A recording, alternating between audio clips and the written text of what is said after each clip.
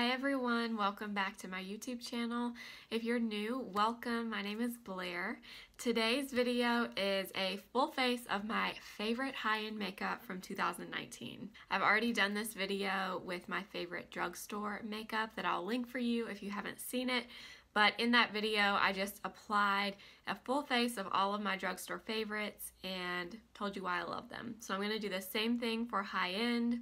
I was to sit down and just talk about my favorite products, but I personally like to see products being applied instead of just talking about them. So that's why I thought it would be fun to do a full face of my favorite high-end makeup products.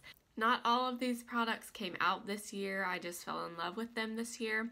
I do have some new ones that did come out this year, but some of them are older products that I have just recently discovered throughout the past year. If you're interested in seeing my full face of my high-end makeup favorites from 2019, please keep watching. Please give the video a thumbs up if you like it, and please subscribe if you haven't already. Let's go ahead and get started.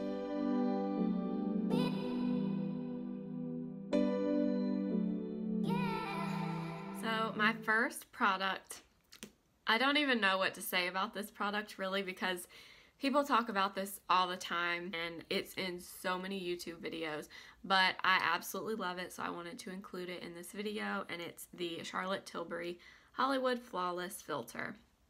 This is so beautiful. If you like your face to look almost ethereal, lit from within, not shimmery or glittery, but just like you're naturally glowing. This is that in a bottle. It is so beautiful. I wear the shade number two. I can wear shade three, but I have to have quite a bit of sun to do that. And typically what I'll do is apply it where I want more of a highlight on my face, but you can also mix it in with your foundation. You can put it over your foundation. It's a really good multi-use product. And I like it because it does not look like you've just put a liquid highlighter all over your face, which sometimes that look is good. I don't mind that look, but this is a very natural way of adding glow to your skin. Next is a color corrector, and this one was kind of hard. I have quite a few color correctors that I love. I shared a really affordable one that I love in my drugstore best of 2019 makeup video. But it took me, I have a few high-end ones that I really like, but it took me a little while to decide which one was my absolute favorite if I could only pick one. And I ended up going with the Urban Decay Naked Skin Color Correcting Fluid in Peach. So this, I think, is great coverage. The consistency doesn't look cakey under your eyes. It's not drying. It does a great job of correcting. It's, I just felt like this one was my favorite of all of them. I have quite a few that are in like pots or compacts that I like, but not if not as much as this one. This one is just it's just perfect. I love it. I reach for this one all the time and it it does exactly what it needs to do. It doesn't look dry. Sometimes with pot correctors, they can start to look a little dry, especially if you apply a good bit of them, which I typically need to do because I have dark circles all the time, but this one doesn't. If you're familiar with the Urban Decay Naked Skin Concealer, the original one, the formula is just like this one. So if you like that concealer, you would like this corrector. And I'm going to blend it in with my damp sponge. But this is just one of those products that is not negotiable for me. No matter what, I always apply an under eye corrector. It just makes the biggest difference. And this one is a really good one. This also comes in a yellow color, it comes in green, And it also comes in a really dark, almost an orange, if you have a darker skin tone. But, I mean, it's just so good. It's so good. See how I just instantly took away those blue circles under my eyes? It's crazy. It is the best thing ever. I have a ton of correctors, like I said, but this one is my favorite. If you need a really awesome color corrector, look into this one. For concealer, this one was also hard. I did mention in my drugstore video that actually my favorite concealer ever is from the drugstore. So go watch that video if you want to know what that concealer is. But for my high-end concealers, I do have a few that I really, really like. And my favorite out of all of them is the Giorgio Armani Power Fabric Concealer.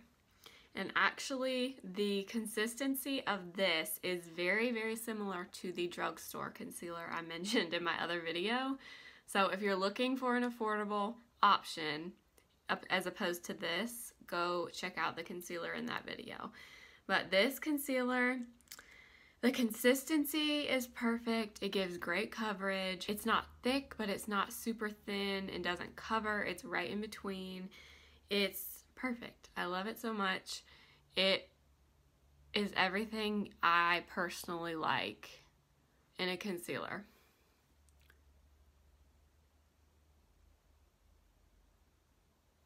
I actually use the shade number two. This one is more of a yellow tone, so it helps kind of tone down redness. So I use it on my face sometimes too.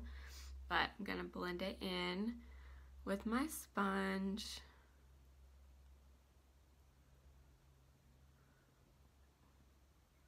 It blends out so easily too. I mean, it's, I'm barely pressing with this sponge. I mean, I'm just lightly tapping and look at that, it's pretty much blended. The other concealer that I do also really, really love that I was considering for this is the Laura Mercier Flawless Fusion. And I do really like that concealer too. But I had to go with this one just because I find myself reaching for this one the most. For foundation, this one wasn't that hard for me. I have tried a lot of high-end foundations this year, but this one was the only one I could honestly say I loved it the first time I used it. As soon as I used this foundation, I knew I was going to like it and I was going to continue to use it, and I definitely have. It's the Anastasia Beverly Hills Luminous Foundation. I love this. Obviously, if you see my other videos, I like a luminous finish to my foundation. That's just my personal preference. I have really normal to dry skin. I do not have oily skin. So luminosity is not an issue for me because I don't struggle with oiliness. This foundation to me is the perfect mix of luminosity. It's not luminous to the point where it feels greasy because to me there's a fine line between being luminous and being greasy. This is that for me. So I'm going to use this today. I don't know what it is about it. I just, I knew as soon as I tried it that I liked it. I wear the shade 200W and maybe a little dark for me now because I got this in the summer when I had more of, or I had more color on my face. But I love this foundation. I also love to mix this foundation with other foundations. this is like my go-to when I want to mix a different foundation. I will mix it with this one.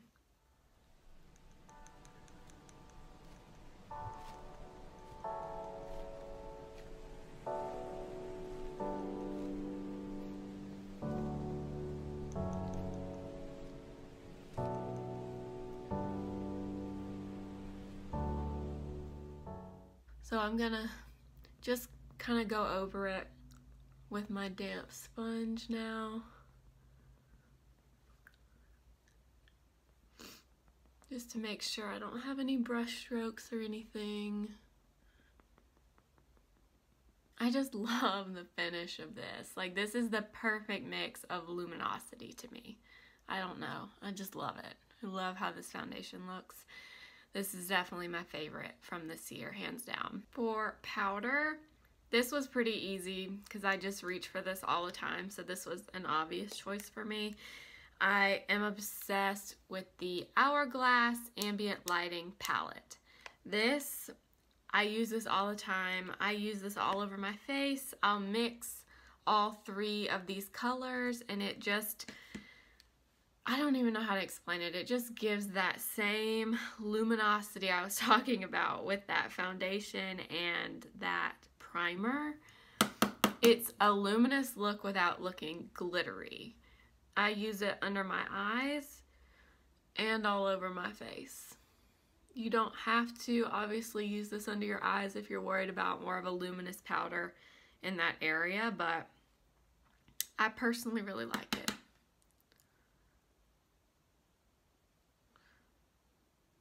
I would definitely recommend getting this palette during like one of the Sephora sales or something. That's when I got this palette just because it is pricey. But for me, it's worth it because I use it all the time. I mean, all the time. I usually will just mix all of these colors and use that to set my foundation. I do it all the time. For bronzer, this was also pretty easy for me. It's another Hourglass product. It's the Hourglass Radiant Bronze Light Bronzer. This is so beautiful. I just love this. This is a total splurge. It's a very expensive bronzer, but to me it's worth every penny. It gives you the same luminous glow that all of the Hourglass powders do in bronzer form. And it's just, it's just beautiful. And they do have other, other bronzers by Hourglass that are also really pretty. I just personally really like the Radiant Bronze Light, but there are different options that work better for different skin tones depending on how light or dark you are. But this one is just beautiful. It's just beautiful. I love it. Also think, pretty sure I got this during the spring Sephora sale this year. But, I mean, this is just I know it's expensive, but it is, it's worth it to me. It looks so pretty on your eyes as eyeshadow as well. To me, you just really can't go wrong with this. And it is a pretty large bronzer, so for me, it will last me a while. So to me, it's worth it. And I would highly, highly, highly, highly, highly recommend it. For blush, this one was really hard because I have a few high-end blushes I tried this year that I love. So this was really hard, but if I had to pick one and only one, I had to go with Charlotte Tilbury Pillow Talk. I just love this blush. If you love the Pillow Talk lip liner, which most people do, and you love that rosy, almost a mauve pink, you will love this. This is a 10 out of 10 must-have product. And with the highlight in the center, I mean, oh, so, so pretty. I love it so much. This had to be my pick. Even though I do have a few that I had to say are were real contenders. I had to go with this one.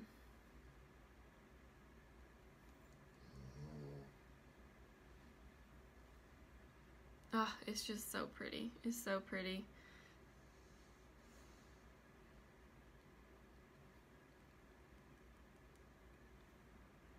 I love it. Oh, it's so, so. For eyebrows, this one was also really easy because I never find a brow product I like as much as this one, so this is definitely my pick for 2019. It's the Anastasia Brow Wiz. This is just this is everything I want and need in an eyebrow pencil and it's perfect. The size is perfect. The color for me is perfect. I use soft brown if you were wondering, but this is just my favorite. I would be very, very surprised if I find something that I like more than this. Because it's just, every time I use it, I love how my brows look. The next product is an eyeshadow base, and ironically, I found this at TJ Maxx earlier this year, and I love it. And I feel like it was there probably because it's being discontinued, but I love it, so I wanted to use it in this video. It's the NARS Tinted Smudge Proof Eyeshadow Base. This one is in the shade Light. If you've tried the original NARS eyeshadow primer, this is just like it, but it has a tint to it, and this is so good. It's I really do notice a difference with my eyeshadow when I use this, and it evens out your eyelids at the same time, which is great because I always have, or I have really veiny eyelids. So I really do have to use something that can kind of even that out before I go in with shadow, and this does that. So I'm assuming this is probably being discontinued, but if you see it out somewhere, or if you can find it online, or uh, honestly, if you just get the original one, that would be good too for just making your shadow last longer. But the tinted one to me is even better because it evens out your eyelids. Because most people do, I feel like, have some discoloration that they want to kind of cancel out on their eyelids before they go in with eyeshadow. And this does both. For eyeshadow, this was kind of hard because I have gotten a ton of eyeshadow palettes this year. I did my 12 days of palettes. That was my way of trying to use all my palettes that I have and really figuring out what I love the most. And if I had to choose one palette, it's the Charlotte Tilbury Starry Eyes to Hypnotize palette. Came out this year for holiday and I just love it. I love everything about this. I've done several videos here on my channel using this palette. If you like more of a matte eye look, you're not going to like this palette. But if you like shimmer, you need this in your life if you can get your hands on it. So we're just going to use a few of the colors today. I'm going to go in with the matte brown in the Happy Glow. I love this palette because you get a really wide variety of shades in here. If you're not familiar with this palette, it has four little trios. So you have Happy Glow, Love Glow, Dream Glow, and Seduce Glow. So you can use these three to create an eye look. You can mix and match them, but all the colors in here really do go well together. I've done several videos using this palette that I'll link for you if you haven't seen them. I've done a review where I did swatches and all that. And then I've done a video where I just used it to do another eye look in my 12 days of palettes, so I'll link those for you if you're interested. But I just love this palette. If I could only pick one from this year, it would be this one. I also just really like Charlotte Tilbury's formula in general. I just have a lot of luck with her shadows. They, to me, just blend really easily. It's not hard. It's very effortless to blend her shadows. So that's another reason I love this palette. Now I'm going to go into the matte rosy shade in Love Glow.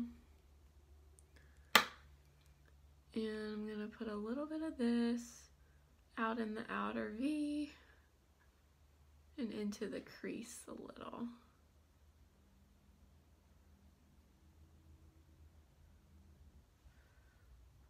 So pretty. Now I'm going to go back in with a little more of the matte brown and just blend this out a little bit more. Now I'm going into this middle shade from Love Glow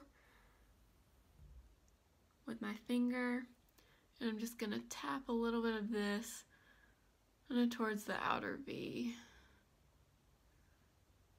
So pretty. Then I'm going to go into the lightest shade in Love Glow. And I'm going to tap this in the inner part of the lid and then use it to kind of carve out the lid.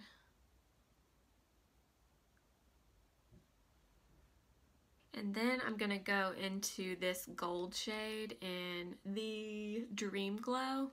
I'm going to put a little bit of this in the inner corner.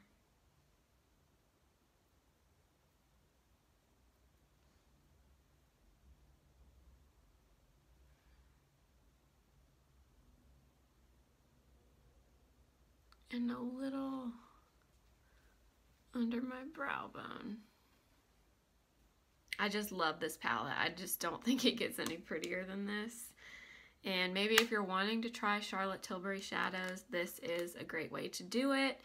And you get a lot of variety in here. So I would highly, highly, highly recommend it. I'm not a huge eyeliner person, but I have been using this a ton this year, so I wanted to mention it. It's the Charlotte Tilbury Rock and Kohl Iconic Liquid Eye Pencil. So you can use this for eyeliner on your lid, obviously, but what I use this for is to line my waterline because I honestly like the look of just lining your waterline and that's it.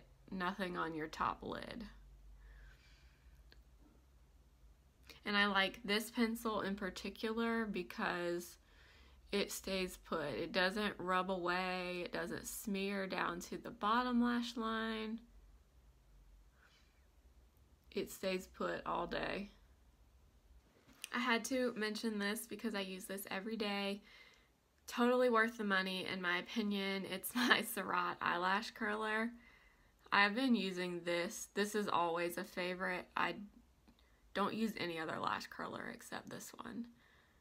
And the mascara that I've been using the most this year, if you see my other videos, you may know Benefit Roller Lash is my absolute favorite mascara of all time, and I still absolutely love it. I use it all the time. But this year, my favorite high-end mascara is the Bobbi Brown Smokey Eye Mascara. This mascara is not clumpy. And I've been using this for months and I, swear it does not get clumpy. I don't understand how, but this mascara gives you length and volume. I feel like a lot of the times a mascara either gives great volume but not a ton of length or it gives length and no volume. This one is like the best of both worlds to me. I mean, look at that. It was so good. I love this. Last, we have lips. For lip liner, this one, this was hard too because I've discovered quite a few lip liners this year, but the one I love the most, if I had to pick one, is this one from KKW Beauty. It's the nude lip liner in Nude 0.5. This is, to me, the perfect nude. It's not super brown, but not super peachy. It's just right in between. It's the perfect shade for me. And these lip liners are so creamy. You can use this as your lipstick and just fill in your whole lips. Very fill in your lips with it for sure. They are so, so creamy. I, oh.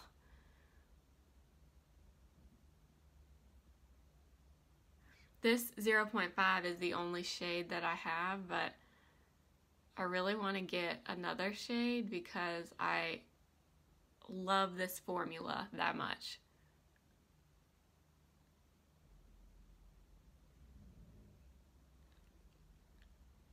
Oh, perfect. I just love this shade. This is definitely my favorite lip liner for sure. This formula in general is awesome and they have it at Ulta now. So definitely the next time you're in Ulta, look at her lip liners. She has red ones, pink ones, and nude ones. And ah, oh, they're so, so good. Then for lipstick, this was also very hard. I've gotten a ton of lipsticks this year that I really like. My favorite high end is the Charlotte Tilbury Hot Lips 2 in JK Magic. This with this lip liner is just perfect. It's the perfect nude combination in my opinion.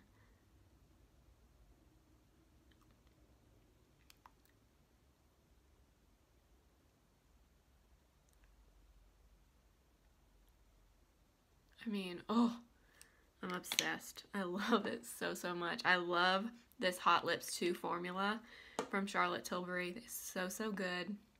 I would highly recommend it. I have a few other shades in the Hot Lips 2, but JK Magic is definitely my favorite. Nude is my go-to. I have kind of been getting into deeper lip colors towards the end of the year that I've really been liking, but my go-to for every single day is the Perfect Nude, and that one is that for me. And then for lip gloss, I had to go with my Fenty Gloss Bomb in Diamond Milk. I also love the shade Fussy. I went with the Diamond Milk because it just gives that shine and really, really pretty shimmery glossy look to your lips and it doesn't matter what lip combo you have underneath. This looks great. This is pretty by itself.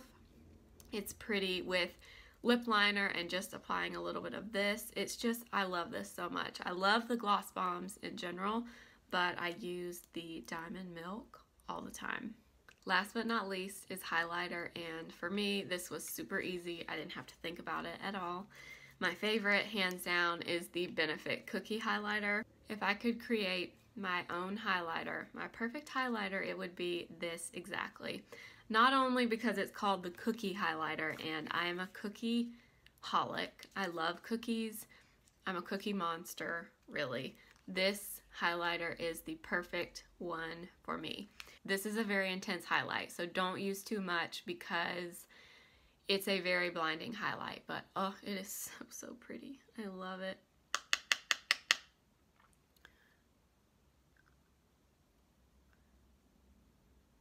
I mean, look at that. Oh. I mean, this this is just everything. This is also really pretty on your eyes as an inner corner highlight. Oh.